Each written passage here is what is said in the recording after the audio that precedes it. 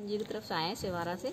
इन्होंने अच्छा काम किया है बच्चों को नाश्ता भी दिया है जो मतलब गरीब हैं उनके लिए पहले सूखा तो राशन दिया था। अब ना, आज नाश्ता देने आए हैं और सबका अच्छा सहयोग कर रहे हैं गाँव में मतलब जो भी गरीब हैं मतलब कोई भी भूखा नहीं है।